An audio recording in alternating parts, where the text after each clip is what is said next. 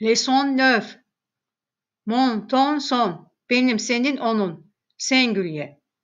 Maskülen ve feminen diye iki kısımda. Maskülen. J'ai un chapeau brun. Mon chapeau est brun. Tu as un chapeau noir. Ton chapeau est noir. Il a un chapeau bleu. Son chapeau est bleu. Féminin. J'ai une cravate brune. brune. J'ai une cravate brune. Ma cravate est brune. Tu as une cravate noire. Ta cravate est noire. Il a une cravate bleue. Sa cravate est bleue. Pluriel.